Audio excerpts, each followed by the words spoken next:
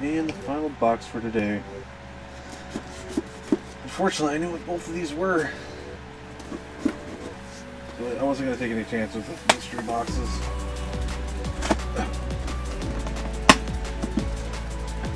Especially when I can just order one. And ordering one was much cheaper than going the mystery box route because I was going to spend just as much on that.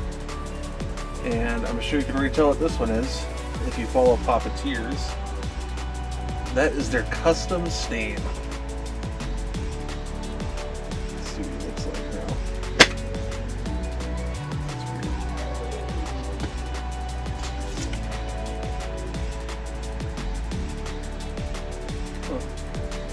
weird. Weird. Oh, yes.